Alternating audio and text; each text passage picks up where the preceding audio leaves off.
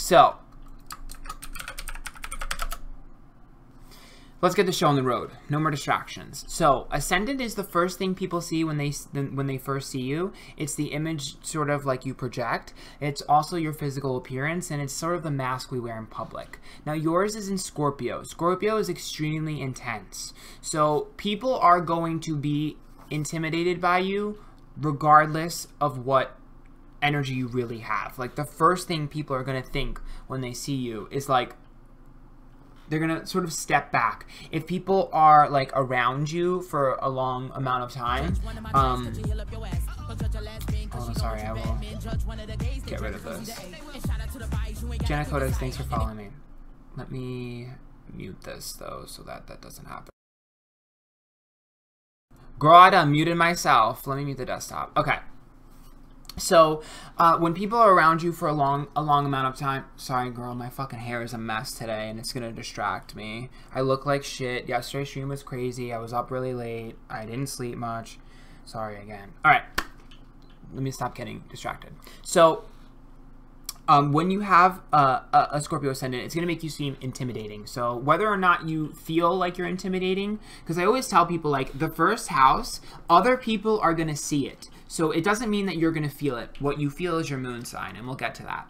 But what other people see is pretty much what falls in the first house. So other people are going to see you as someone who's intimidating, someone who they're a little bit afraid of. Uh, a little bit of fear goes a long way. Um, somebody who definitely has a sort of like uh, energetic pull to them. So you're going to be feeling, people are going to feel like you're magnetic.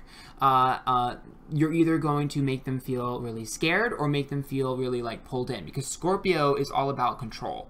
So uh, excuse me, when you have excuse me, your ascendant in Scorpio, it gives off like a very powerful uh, vibe. Like this is the level of like this is a level of fierceness that most people wish they could have. Um, when it comes to like first impressions, sometimes that's not always the best thing because you know if you really want to make a sweet impression, sometimes it's hard until they you know talk to you a little bit more. Now, I will tell you that your sun is in Libra, and Libra is a very great placement to pair with this because Libra is very sweet, it's very innocent, very charming, you know, extremely likable, especially when it's in the sun sign because your sun is your ego, and it's all about you know harmony and balance and you know not stepping on anybody's toes and supporting people and uplifting them. Um, but the problem here is that that's not going to be what people first see when they see you. What people first see is that intimidatingness. Like, even before they approach you, they're going to feel like maybe you're not as approachable as, as you really are. And then once they start getting to know you, the Libra is going to be activated. And the Libra is going to be like, oh my God, you're so likable. Oh my God, you're so sweet. Oh my God, you're so innocent. That's like that's like the Libra energy. So it's it's great paired with this placement. This is somebody who's for instance, like the, the image that I would project in my head based off of a Libra Sun and a Scorpio Ascendant is someone who is like really beautiful, very innocent looking, but if you fuck with them, would be like the queen who sliced your head off herself. Uh, you know, like like if you were uh, uh, you were uh, sitting on a throne, and if someone fucked with you, you'd smile on their face and then you know stab them if you needed to. Uh, that's like obviously it's an extreme, but that's like the type of energy that the two of these are sort of having on you, which is a really great thing, and it, and it's. I'd be surprised if you didn't have people like either admiring you or like really wanting to be with you, like really loving. Oh, here we go with this fucking shit really wanting to sort of, you know, either be you, you know, like, or just like an inspiration or someone they're afraid of. Okay? Let me mute. Let me just remove the alerts altogether. Hold on, I'm going to move the alerts so that we don't even have to deal with those.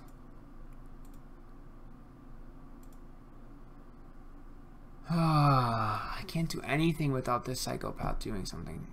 Okay. Anyways, so moving on.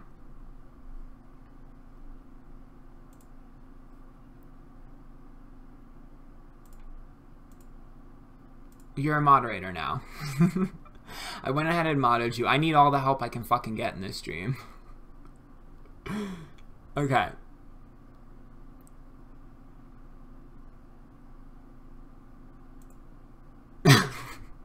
you don't have to if you don't want to. I don't even know if it worked. Did it work?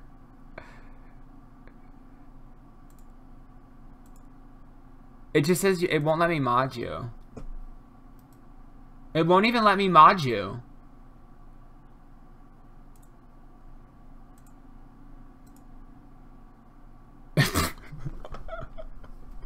it won't even... It just says is not a moderator of this room. It says is not a moderator of this room. That's all it says whenever I try to moderate you. Just untouchable. I don't know. Okay, anyways, it's okay. We got it. Moving on. Okay, so your sun is in Libra and your sun is in the. Let's see what this is. What house is this is in.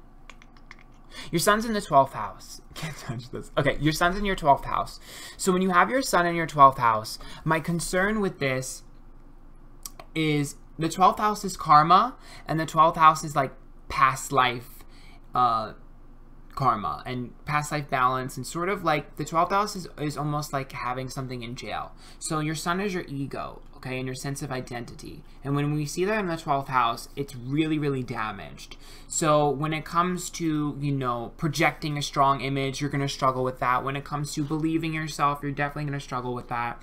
When it comes to confidence when it comes to your sense of self and who you are um, you're going to struggle with that when it comes to uh, you know boundaries. I see a lot of problems with boundaries with Sun in the 12th house, allowing people to do things. Because what happens when your Sun's in the 12th house is like everything related to the Sun, which is ego, sense of, sense, sense of identity, you know, who we are, our courage, things like that. It gets fucked up and it turns on its head. So it's like, for instance, the sun wants to be in the first house. That's its favorite place. So your sun is in literally the place that it doesn't want to be in the, the most. And so what happens is your life puts you in, in, in positions where you're going to feel like you are treated as if you are less than and because you've been in so many positions that you've been treated like you're less than, you start to believe that. And so as you sort of progress in your life, because this will be a lifelong thing, okay, as you progress in your life, you start to realize that you're actually stronger because of the shit that you've been through than when you first started out. So like for instance, if I were to have my sun in my first house, I'd be really confident, really like sure of myself, maybe a little bit cocky, you know, a go-getter, getting everything I want, not caring about other people. But because you've gone through these certain things, it's sort of damaged it. But in the end, by the end of your life, you realize that you're stronger than everyone else because you've had to deal with the shit. So it's almost like baggage, baggage when it comes to ego, sense of identity, self-worth.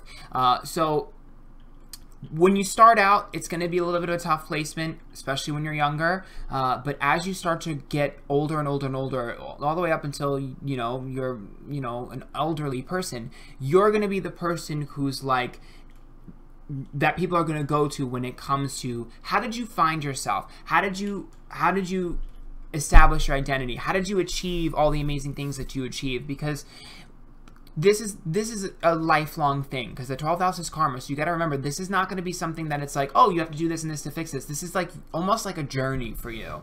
It's not the destination it's the journey. So remember that when it comes to like you feeling down about yourself or feeling like you can't stand up for yourself just remember that every single thing that you've gone through in life is building you to the point that you need to be at. So a lot of astrologers will tell you shit that'll be like, oh, this is a bad placement, this is a bad placement. Fuck that, it's not a bad placement. I think this is a fantastic placement because you have to remember, if you have your sun in the first house, you're a cocky son of a bitch, right? And so you don't care about other people, so you never have to learn how to help people because you know you're selfish. And so you have the opposite where like you're helping so many other people, and because you're doing that, you become a very strong person. So you know it's like you find your strength through your weaknesses okay, which is a very powerful thing. So I'm very passionate about the sun in the 12th house. That's why I went on it for so long because a lot of astrologers do not understand the 12th house. I the 12th house and the 8th house are very closely related. The 8th house is death, sex, and occult, and a bunch of other crap. Obsession, shit like that, secrets. And the 12th house is karma. So the both of them are very feared in astrology for no fucking reason. Um, I have a lot of placements in the 8th house, which is very similar to the 12th house. So I'm very passionate about those two houses. And I don't like the bad rep that they get. Because I have people coming to me all the time like, I Googled this and it says this and this. I'm like, shut the fuck up. They don't know what they're talking about. So sorry I went on a big thing on there, but I'm very, very focused on the 12th house. The other thing I'll tell you about the 12th house is that because it's karma, you know that at the end of the day, everything's going to work out. You know, whereas the eighth house is a little bit more up in the air, the 12th house always comes back around. It's a full circle moment. So wherever you started, know that you'll end up circling. Um, your moon is in Taurus. Now, moon is emotions. When you have your moon in Taurus, okay, it's a little bit of a struggle. Um, you know, your emotions um, need to sort of be expressed. So when you have it in Taurus, it's very hard, okay? It's very rigid, it's an earth sign, and it's very stubborn. So these people are really, really difficult to crack, okay? They wear an extremely hard protective layer uh, when it comes to their emotions. Like you're gonna have to not only unlock the the the the, the chain lock, the chain lock, you're gonna have to unlock the door, and then you open that door, and there's another door, and you open that door, and there's a trap door. Like these people, it takes a lot to get through to them. Um, and then once you're in, you're always in. These people are extremely loyal, especially once they open up to you. Uh, when it comes to friends who they really love, they love them forever. They're going to do things for other people. Moon and Taurus is going to be physically doing things for other people. They're going to be the amazing listeners when they let you in. They're going to be paying attention to what you do. They're going to sort of have a have everything you've ever done in their head so that they can help you extremely helpful but my one problem with moon and taurus is that sometimes they because they're so you know they're so they're all about trust and because they're not very trusting of people and they're very quiet you have to be careful about alienating people. Um, you know sometimes i see them being so protective that they miss out on opportunities with people because not everybody is like willing to jump through ho- hoops uh, to get to you. And so some people obviously they're not worth it so you don't you don't want them in your life so that protective layer protected you. But other times you could miss out on a connection with someone because they didn't jump all the way. Do you know what i mean? So my only suggestion with moon and taurus is to make sure that you take into consideration that you may be a little bit more um, a little maybe a little bit too rigid that you know maybe your guidelines are a little bit too strict when it comes to trust and opening up to people. So not that they're bad because they're great and they're fantastic but make sure that you you allow a natural steady progress and that you don't sort of like close off completely because these people will close off and they'll retreat and they'll hide uh, especially if they feel like you're untrustworthy. The other thing i will say about moon and taurus is that they have no problem cutting bullshit off. So if somebody wrongs them uh, as long as they haven't like completely given their all to them. Because if they've given their all to them, remember I told you Taurus doesn't let things go, so you'll never let go of that feeling that you cared about that person. But if you didn't care about them all that much, you can cut them off and never think about them again.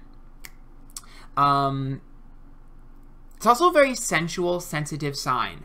Okay, so these people are definitely going to. The one thing I will say about Moon and Taurus, and this is just my personal thing. It may not apply to you, but I found this to be a big thing. Taurus is all about uh, the, the nice things in life, and Taurus likes to eat. And when I see the moon in Taurus, a lot of times these people do have a tendency to emotionally eat. Um, so you know, it's just a, it's just a thing to throw out there. Um, you know, be careful about that. Um, okay, let's see what house this is in. So this is in your seventh house. Okay, so seventh house is partnerships and marriage and one on one relationships. So when I see uh, Moon here, um, your emotions are going to be tied to other people. So the problem with this is that, uh, excuse me, before you find someone trustworthy, you're going to be closed off, right? You trust them, you open up to them. The thing is, is that the seventh house is all about learning. When a planet is in the seventh house, you learn whatever that planet is through other people. So your emotions, you're going to learn about yourself and your own emotional being and your emotional state through your experiences with other people. You're going to learn how to handle your emotions through experience with other people, which means that a lot of times you're going to mess up. Um, a lot of times I see people with moon in the seventh house have regrets when it comes to how they act, reacted to people, you know, in the past, or they end up seeing themselves, you know, in someone else, uh, how they acted, or they have a similar situation and they're like, oh my God, is that me? Like it's a very self reflective moment uh, with this. What the other thing I'll tell you is that you're going to be much more needy it, when you are committed to somebody than you are when you're not. Uh, because the moon will seep up on you. So, like, you'll sort of get to a point where if you care about someone, you're to care about them so much that you're to need that comfort from them because the moon is, is to be sitting in the seventh house, which is next to them. So, you're to be surprise yourself about how sort of needy you can become. Uh, you know, because you go, you're to go from guarded to like needy like that once you're like really in love. And this could even be a friend too but it's not doesn't have to be like romantic love but like the moon wins. So when it's in the seventh house it's gonna win. So try to not fight that neediness. Try to work try to work with it. Try not to like be too needy but don't be like too not need. You know what I mean? Like you have to learn to balance that. For instance, I have my sun in my seventh house, so I learn about my sense of self and who I am through other people. So I again can relate to you with with a placement like this in the seventh house. Uh, it's actually a really great placement as well because when it comes to you know when it comes to being married or being in a relationship or even being a close friend, your your moon is here and the moon is very nurturing. And so you're very open and you're very loving and you're caring and you will care about your friends and take care of your friends. The moon is like mommy and the mommy takes care of. So you're definitely going to take care of the people you love. It's a great placement. Um, Mercury is in Scorpio. So Mercury's communication, Scorpio is no bullshit cut to the chase. So these people are not going to sort of they're not going to be blunt because Sagittarius is more blunt, but Scorpio is not going to bullshit to you. So if you wanted an honest opinion uh, and someone who's going to tell you, Mercury and Scorpio is great at this. Um, the other thing I will say is that when they are upset, they will sort of go for low blows. If someone pissed you off enough to where they got you super angry, uh, Mercury and Scorpio is definitely going to say something really, really below the belt. So I'm sure you've already experienced this and know that you are capable of this and you don't do it. But it is something that, you know, Mercury and Scorpio is great at. Um, these people love to figure things out. When it comes to investigating, Scorpio loves to get down to the nitty gritty. Um, they definitely like abstract sort of ideas that they can sort of float around in. They like to figure how things work, how it's made. Um, they want to understand some human psychology. Why do people act the way they act? You know, um, these people are great problem solvers. These people are fantastic at figuring out the hows and the whys. Um, the only the only uh, problem with this is that sometimes they can get sort of fascinated by something a little bit more darker or taboo. Uh, you know, sometimes they could go down. Like I've seen Mercury and Scorpios who've become like experts at serial killers because they like that sort of dark edginess. Uh, they're not afraid of, of, of, of, you know, maybe something other people deem, you know, like, ooh, you know what I mean? Uh, they're definitely down to sort of play in the mud. They're down to get dirty, which is not a bad thing. Um, so let's see where this is placed. This is in your first house. So having your Mercury in your first house is a really, really, really, really, really great placement. Um,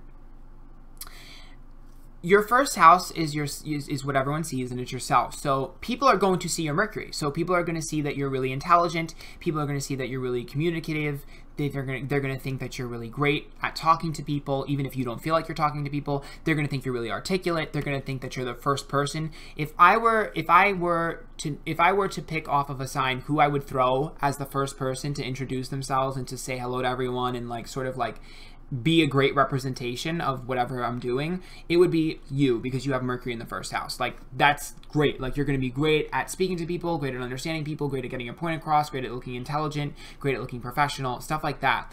The only problem with Mercury in the first house is that they have a tendency to teeter on the know it all side. So sometimes they don't realize it. Sometimes they're going to come across as either a know it all or a little bit like pushy with their opinions. Um, so we have to be a little bit careful about that. Um, when I see this placement, nine times out of ten, uh, if you tell them, they're usually very much like, "Oh, I didn't, I didn't realize that. Sorry." So like, this is probably more for other people than it is for you, but like, have I, I am going to tell you that having Mercury in the first house, sometimes you come across, you know, not the not not exactly um, uh, not pompous, but just a little bit more like like a know-it-all. So we have to be careful about that. Just because you know, tone is very important. That's really it.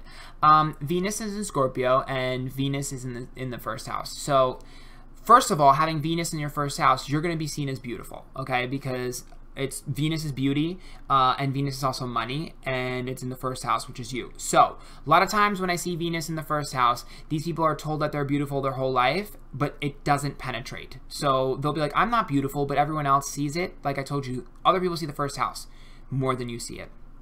The other thing I'll tell you about Venus in the first house is money. Here, these people definitely acquire money. Like, these people are going to have money. Like, money is going to come to them. Success is something that they love and they're going to get addicted to sort of success they'll get addicted to the money and money fuels them um, a lot of times these people are given money uh, you know not necessarily always an inheritance but like if I were to look for someone who I think is going to climb up in in the, in the ranks and sort of achieve things faster than anyone else, it's going to be Venus in the first house because Venus is just like, I need money. I love money. Give me money. And people will just give money. So great placement if you're looking to sort of rise up in ranks great placement if you're worried about money because you're always going to have money.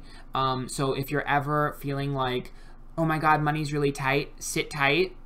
Venus will shine. Once something aspects venus especially if jupiter aspects venus in, in, in when Ju- whenever jupiter aspects venus you're going to see an increase in money for you and you're going to have an increase. So great placement for that also great placement. For knowing how to earn money definitely a hardworking placement. Well i should say a hardworking placement until they acquire a lot of money then sometimes venus spends its money crazily. So you have to be careful about that. Once you acquire money sometimes venus is like i want to buy all the beautiful things and they're like oops my bank accounts. You have to be careful about that.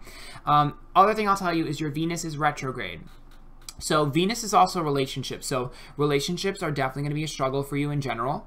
Um, understanding your place in a relationship very much a struggle. Uh, Self esteem, definitely a struggle because retrograde means it's slow, so it's moving slow to where it's almost moving backwards. Um, so uh, when Venus is retrograde, sometimes these people have trouble, you know, accepting that they're beautiful, have trouble accepting compliments, have trouble have trouble feeling like secure in what they're wearing or what they're doing. Um, this is definitely something that will be a lifelong thing, um, but what's great about this is it makes you not cocky. Because if you didn't have this, you could potentially be like, I'm the I'm the best looking person in the world. I'm so hot. I'm so beautiful. So it's like charts balance each other out because you know we're not made to be monsters. So because it's in the first house, it's also retrograde. So it's like a check and a balance. So while it might sound terrible on paper, it kind of balances you out. It's not that bad, in my personal opinion. Uh, the other thing I will tell you is, again, when it comes to spending money, sometimes you're going to have regrets with Venus in retrograde. Make sure you think your purchases through all the way. Um, you probably already do that. Um, okay, moving on. Mars is in Aquarius. So Mars is passion, sex, and aggression. Okay, Mars in Aquarius, when they're angry, they detach. So Aquarius doesn't like to get attached, so when it does get attached, it needs an escape plan. So when Mars is angry here, um, it's definitely going to be someone who holds it in. So Aquarius is the water bearer, and it holds in its its feelings, okay, until all of a sudden it fills to the very top and explodes. So when you have Mars in Aquarius, um, my one thing that I tell people is make sure that you don't hold everything in and then have that epic explosion. Um, make sure that you know that you're about to overflow and that you release it properly when you're midway. This is something you're going to have to learn about yourself uh, because if you allow it to overflow, it always ends up in like this dramatic outburst and people aren't going to understand. So that's that's a problem. Um, when they lash out at people, it's typically going to be in a very obviously they when they reach a dramatic point it's going to be dramatic but just like the subtleness it it it's almost in a detached nonchalant way. Like a lot of times I'll see Aquarius, Mars and Aquarius, when they're angry at someone, they will sort of like throw baby hints, like almost to the point where the other person is probably never going to pick up on it. Maybe they'll compare them to someone else. Maybe they'll say like, "Oh, yeah, you shouldn't have probably done that." And like they'll give those little things and that's like the sign. Like I said, this is more helpful for people around you than it is for you. That's like the sign that the Mars in Aquarius is starting to get annoyed. Those little baby things. Um when it comes to sex, okay, and I'm not going to make you too uncomfortable, but um I am going to touch on it. Um Mars in Aquarius is all about freedom. Okay, so, well, I guess a different type of freedom because freedom typically falls in Sagittarius, but there's a sense of like, there's a sense of like shedding of skin. So, you know how the age of Aquarius was all about like doing what we want and, you know, you know, all that hippie stuff. Mars in Aquarius is down to try anything.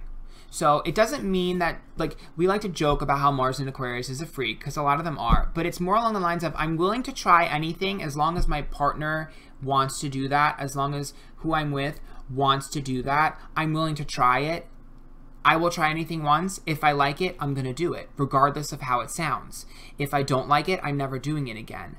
So, because you got to remember, Aquarius is the sign of friendship. So they're definitely fluid in terms of like, oh, what do you do? Let's see what you do. Ooh, what do you do? Like, they're, sometimes they take pieces of other people. So they are definitely someone who's down to try anything, and if they like it, they're not afraid to be a little bit kinky. I mean, I've seen it tons of times with Mars and Aquarius. The other thing is sometimes I see Mars and Aquarius struggle with. Now, for you, it's a little bit different because you have placements in the seventh house and Libra here, but if you had different placements, I'd be like, well, Mars and Aquarius sometimes has trouble committing because they want a little bit of everything and they don't really want to be tied down. A lot of times, Mars and Aquarius are the first people to be like, I want to, I want to be polygamous or I want my cake and eat it too, friends with benefits. So you know, you have that energy. It's much more subdued because you have a lot of strong placements like Taurus here and your placements in the seventh house that are making you much more loyal, especially your your Sun in Libra. But if you didn't have any of those others, I'd be concerned.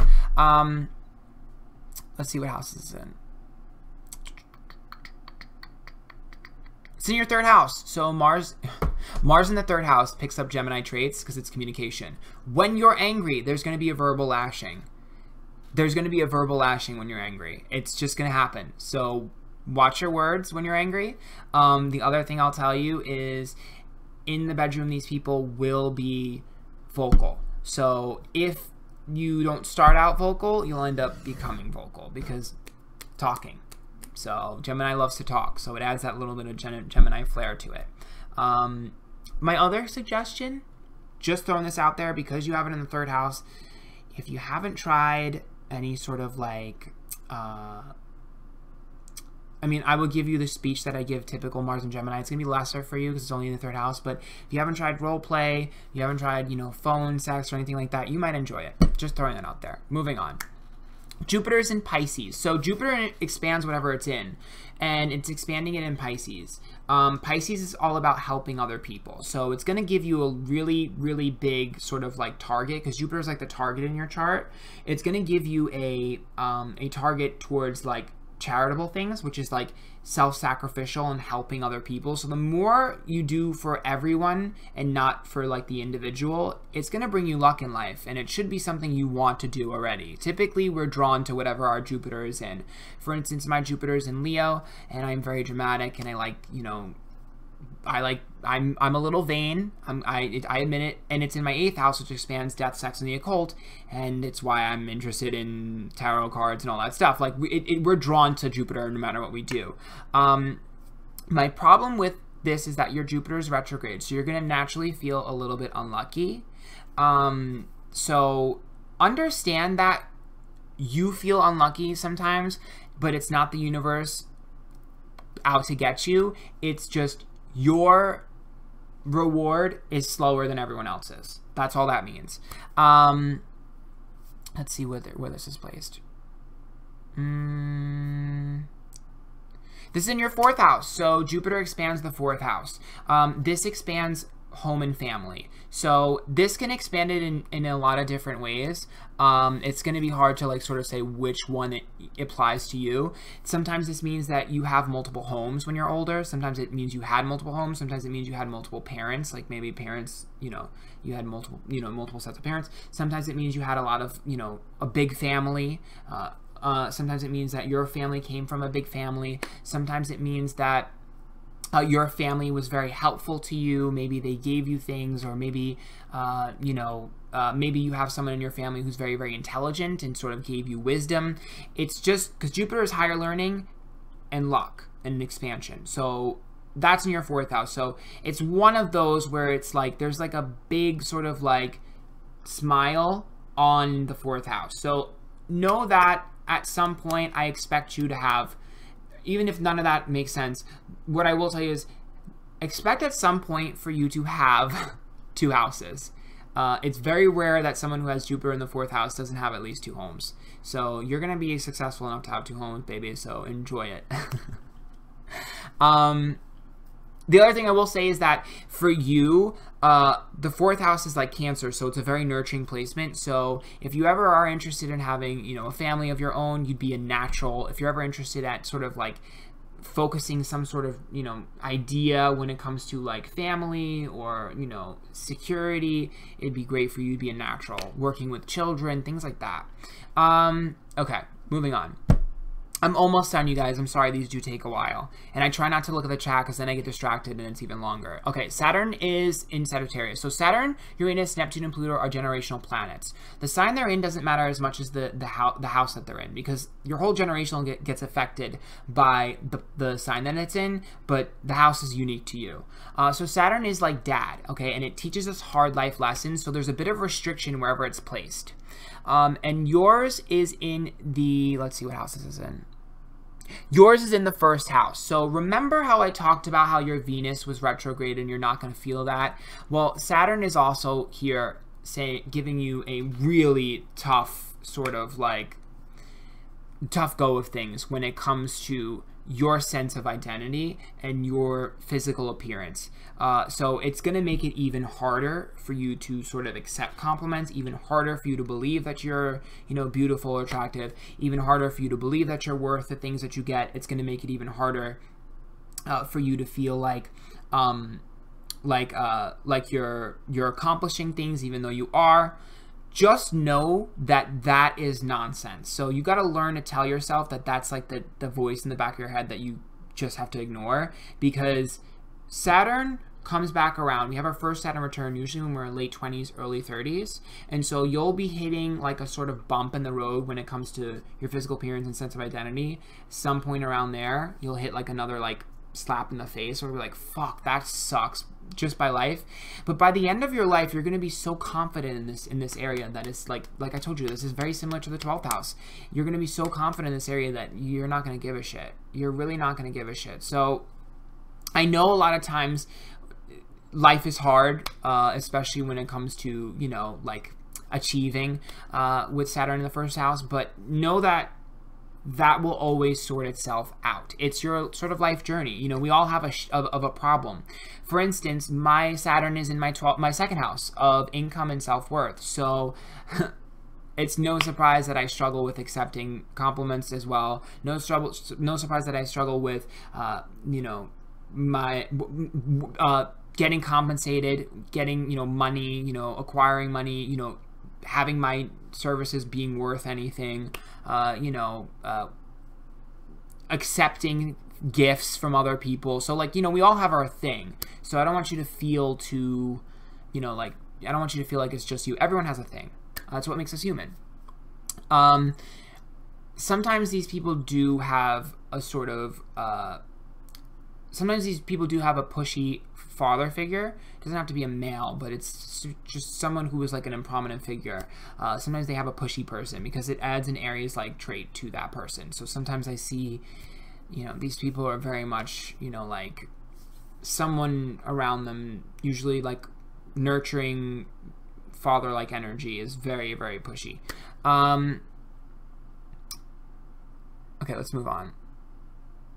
Oh, the other thing about Sagittarius with Saturn and Sagittarius, Sagittarius is all about travel. So sometimes I see these people, sometimes I see them like be be really, really, really, really, really, really careful. They have to be really, really careful about traveling because when Saturn is in Sagittarius in the first house, my only concern is like make sure that when you do travel that you are very, very, very, very meticulous with your plans because sometimes Saturn will be like, oh You thought you were going to travel and that you weren't going to figure out exactly what you're going to do. Well, this just fell through. Maybe you should have thought that through. Oh, this plan that you had when you were doing this, guess what? Burnt. I just fucked that up. So that's it, shouldn't be too big. It's not a very strong thing. It's a very small thing, but I throw it out there just as an extra.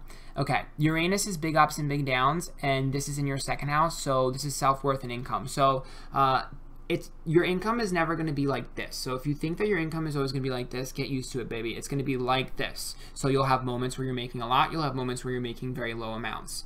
It's going to be you're going to have to learn. Uh, excuse me. You're going to have to learn how to deal, how to like sort of save. And I'm sure you've already figured this out, but you're going to have to learn how to save when it comes to this moment.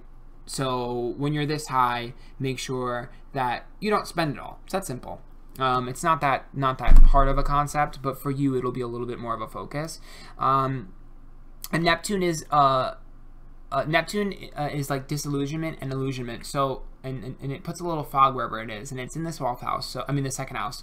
So um, as well. So sometimes we can be a little bit delusional with how much money we spend. A lot of times I see it's like I spent all it like I was talking about before. It's kind of funny. It's, charts are circular. Um, uh, I spent all this money on this thing and I didn't realize that I spent all this money and it really wasn't worth it. So sometimes they, they get, especially Neptune gets a little bit excited. They're like, oh my god, I really like this. I really like this. This is worth it. And they buy it and then they realize, oop, I have regret.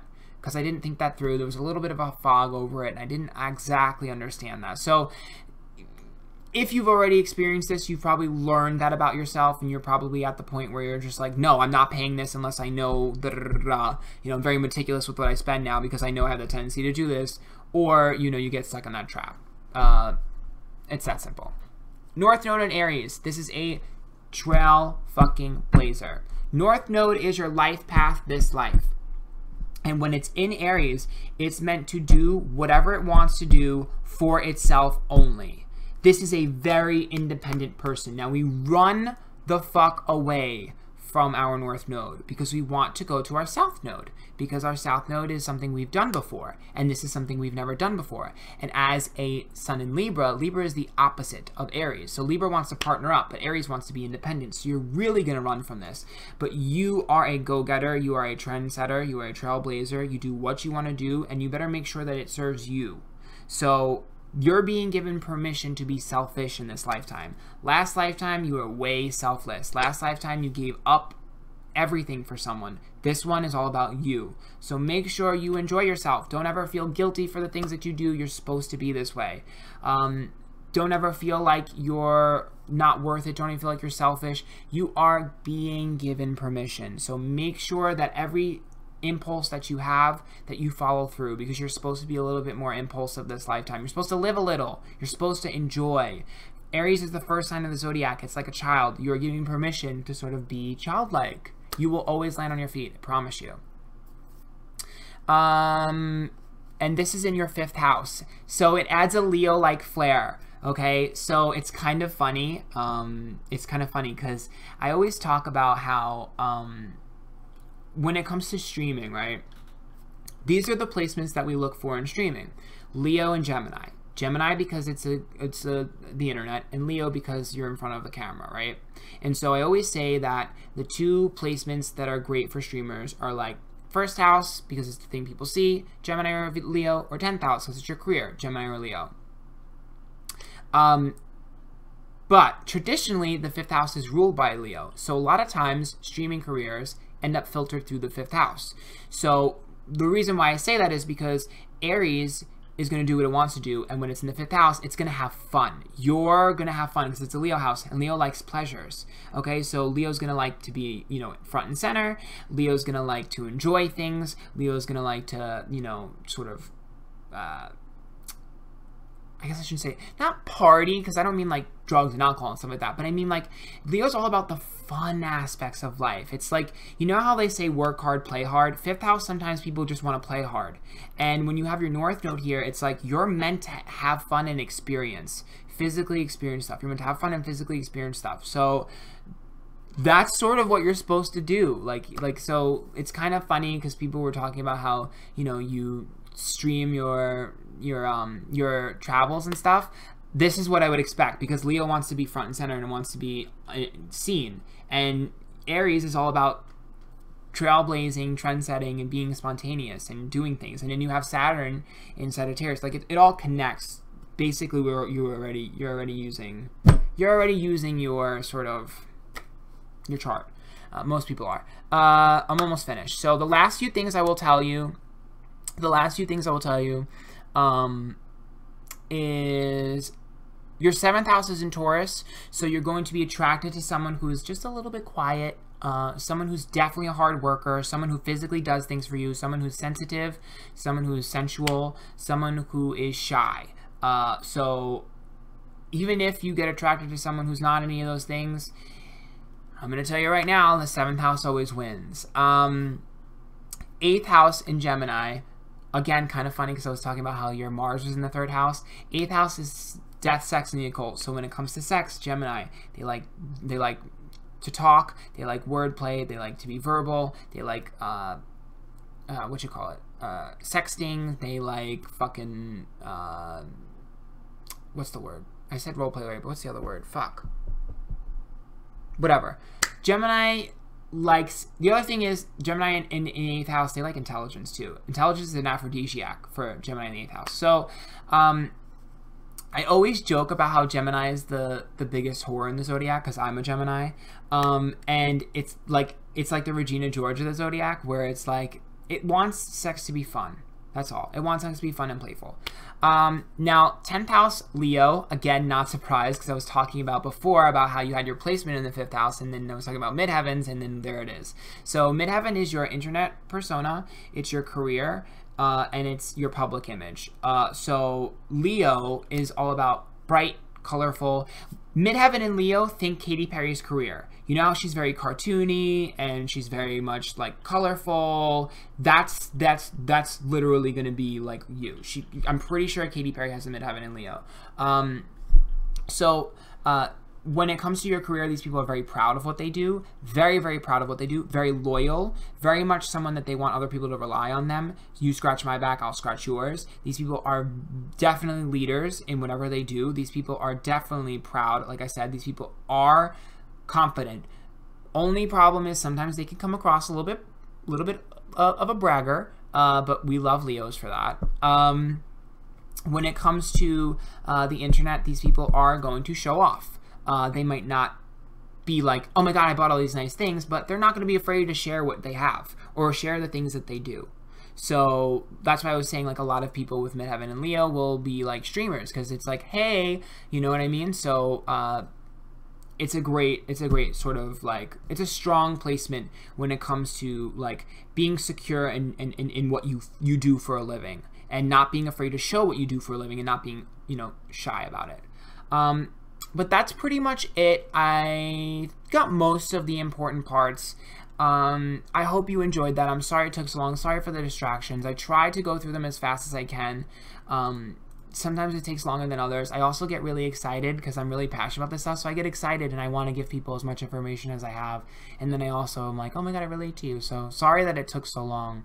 Um, but I hope you helped that. And thank you again for subscribing to me. And sorry about